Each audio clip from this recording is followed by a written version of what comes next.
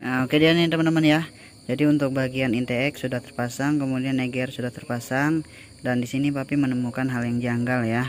Nah, di sini papi menemukan untuk bagian plat ya. Halo semuanya, assalamualaikum warahmatullahi wabarakatuh. Kembali lagi bersama saya Iwan Setiawan di channel Papi Kembara Auto, khusus perbaikan mesin dan otomotif. Oke sahabatku semua apa kabar hari ini? Semoga sahabatku semua dalam keadaan sehat walafiat Serta dalam lindungan Allah subhanahu wa ta'ala. Amin. Nah video sore ini teman-teman Jadi papi mau ngecek untuk Toyota Hilux Tahun 2013 ya Yang sudah menggunakan intercooler. Nah untuk keluhan mobil ini teman-teman Jadi pada saat kita bawa ini tenaganya tidak ada sama sekali teman-teman ya Hat, uh, kemudian untuk bagian asapnya hitam teman-teman. Oke sebelum lanjut ke videonya jangan lupa tekan tombol subscribe dan like. Mudah-mudahan info dan ilmu yang papi kembar bagian ini bermanfaat buat teman-teman semua. Oke teman-teman kita cek dulu kita hidupkan dulu untuk mesinnya ya. Ini Hilux tahun 2013 lumayan uh, mulus ya teman-teman ya untuk bagian bodi nah sini kita hidupkan dulu untuk mesinnya. Nah. Oke kita naik dulu ya. Nah teman-teman jadi untuk uh, bagian lampu yang hidup di sini itu lampu ABS dan lampu uh, rem tangan ya uh, rem tangannya hidup uh, untuk lampunya hidup dan kemudian kita turunkan mati. Nah sekarang papi mau coba untuk uh, tenaga dari mobil ini dengan cara kita akselerasi ya.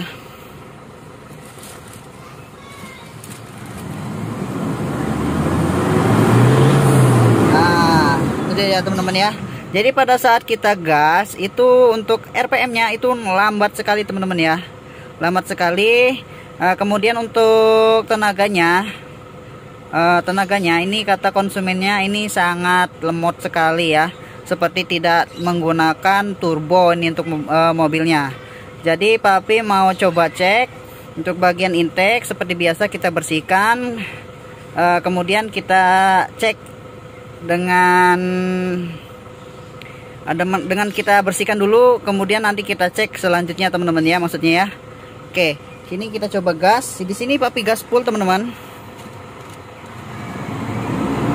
Nah, jadi untuk papi gas full dan papi lihat dari RPM-nya, ini sangat lambat sekali teman-teman ya. Ini sangat lambat sekali untuk naik ke RPM berikutnya. Oke, coba kita lihat untuk bagian asapnya ya.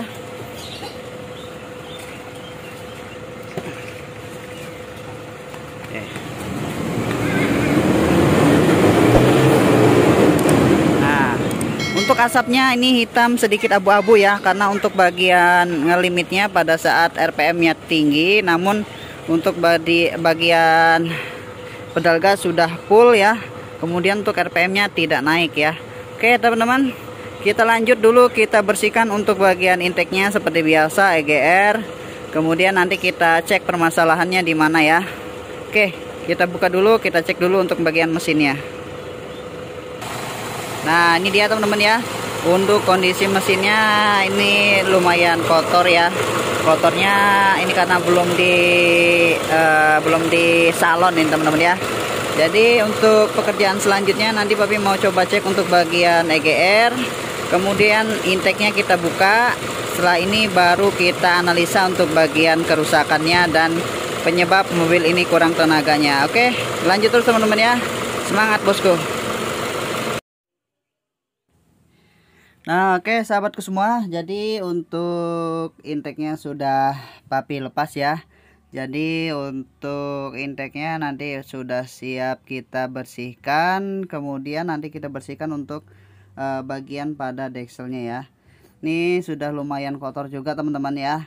Jadi untuk kotornya masih lumayan dibandingkan uh, apa Fortuner sebelumnya ya jadi kotorannya itu sangat mengkerak kemudian dia bergerumpal.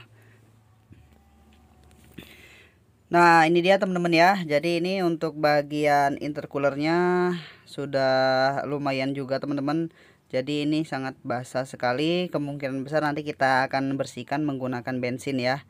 Kita cuci untuk bagian dalamnya menggunakan bensin Setelah itu teman-teman baru kita lanjutkan Kita bersihkan untuk bagian EGR nya Nah di sini untuk bagian EGR nya sudah lumayan hitam mengkerak ya. Jadi untuk egernya nanti kita lanjutkan kita bersihkan.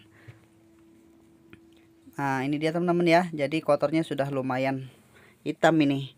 Nah di sini intake-nya teman-teman.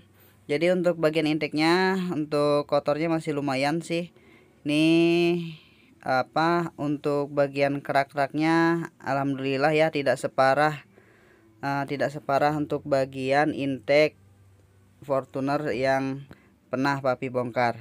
Oke lanjut teman-teman ya. Kita bersihkan dulu untuk nah oke sahabatku untuk kotornya lumayan juga ya. Ini sudah papi bersihkan untuk bagian intake dan EGR nya setelah ini kita bersihkan untuk bagian uh, dudukan pada head kemudian kita pasang untuk bagian komponen-komponennya ya. Setelah ini baru kita tes untuk mobilnya. Untuk bagian intake-nya itu sendiri sudah kita bersihkan ada di sana ya teman-teman ya dengan EGR nah, sekarang kita akan bersihkan untuk bagian lubang-lubang di intake ini dan EGR nya setelah itu kita pasang untuk bagian komponen intake-nya dan yang lainnya. Oke semangat terus bosku oke teman-teman ya. Jadi untuk bagian dudukannya sudah kita bersihkan. Selanjutnya kita pasang untuk bagian intake-nya ya. Kita bagi apa kita pasang untuk bagian intake-nya setelah ini baru kita rapih-rapihkan lagi oke? Semangat terus bosku. Nah, oke dia nih teman-teman ya. Jadi untuk bagian intake sudah terpasang kemudian neger sudah terpasang dan di sini papi menemukan hal yang janggal ya. Nah di sini papi menemukan untuk bagian plat ya. Ini di dalam uh, eh, EGR kemungkinan besar untuk EGR nya ini sudah dibuntu ya. Jadi kita lihat di sini teman-teman. Di sini papi melihat untuk bagian platnya ada di sini. Nah ini pada saat ditutup teman-teman. Jadi untuk bagian tenaganya ada teman-teman ya. Nah ini dia teman-teman ya jadi untuk bagian EGR nya sudah ditutup. Uh, di sini papi uh, perkirakan ya. Papi perkirakan untuk bagian EGR nya yang bermasalah. Nah nanti kita coba hidupkan. Setelah itu baru kita cek untuk bagian EGR nya ya. Jadi kalau misalnya EGR nya terbuka terus maka tenaga dari heluk ini tidak akan uh, tidak akan pulih teman-teman ya jadi untuk fungsinya EGR itu pada saat kita hidupkan idle kemudian pada saat tertentu untuk bahan bakarnya dicampurkan dengan EGR untuk penyempurnaan e, gas karbon dioksida ya untuk gas buangnya. Nah ini kita buang saja teman-teman. Jadi kita buang saja untuk platnya kemudian e, nanti kita e, akalin ya. Misalnya kalau dia bocor dari e, EGR nya kemungkinan besar kita akan buntu untuk e, salah satu selangnya pada saat EGR ini membuka. Nah seperti itu ya. Jadi papi mau lanjut dulu teman-teman ya. Kita cek dulu kita rapikan dulu baru kita cek ya. Oke teman-teman lanjut teman-teman. Mantap. Oke teman-teman semua. Jadi untuk bagian-bagiannya sudah papi rapikan ya jadi dari intake kemudian EGR total body dan bagian intercoolernya ini sudah papi rapikan. Nah sekarang kita akan coba hidupkan kita bandingkan dengan uh, awal hidup tadi ya. Oke kita coba hidupkan dulu teman-teman ya.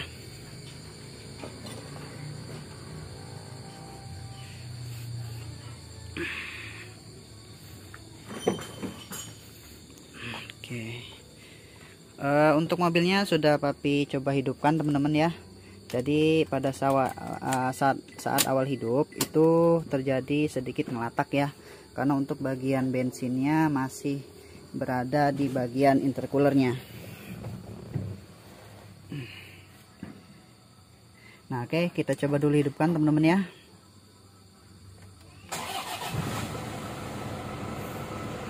Nah untuk bagian RPM atau gasnya teman-teman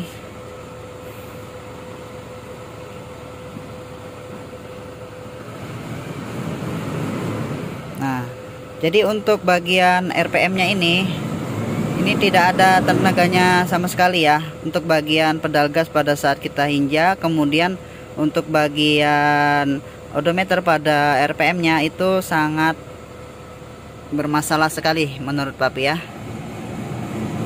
Nah, jadi untuk permasalahannya teman-teman kita lihat di bagian sini teman-teman ya.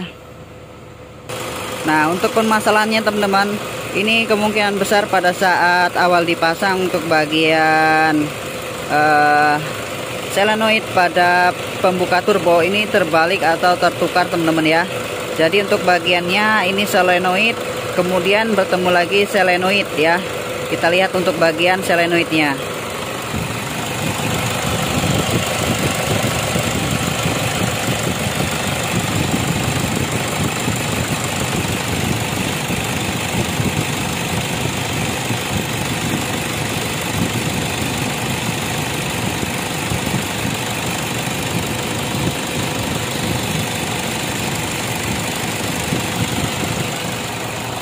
Ya, itu teman-teman ya.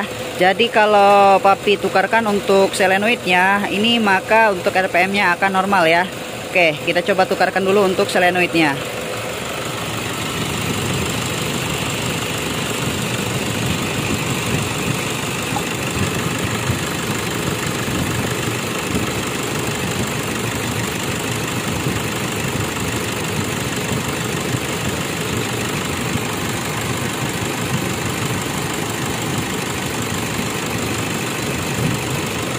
Nah seperti ini ya teman-teman ya. Kita coba akselerasi lagi untuk mobilnya ya.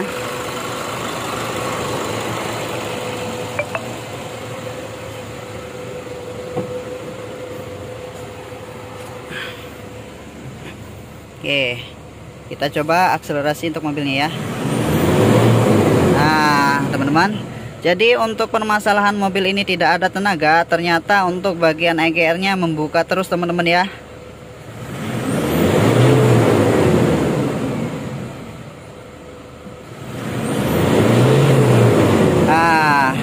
Oke teman-teman, seperti itu untuk menganalisa dan cara memperbaikinya ya.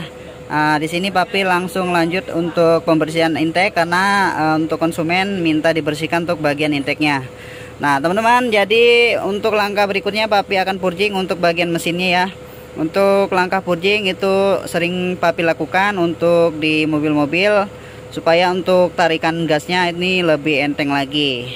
Nah, se uh, seperti itu ya teman-teman ya. Mudah-mudahan info yang Bapak Kembar bagikan ini ada manfaatnya dan tambah bermanfaat. Sampai ketemu lagi di video berikutnya. Assalamualaikum warahmatullahi wabarakatuh. Mantap bosku.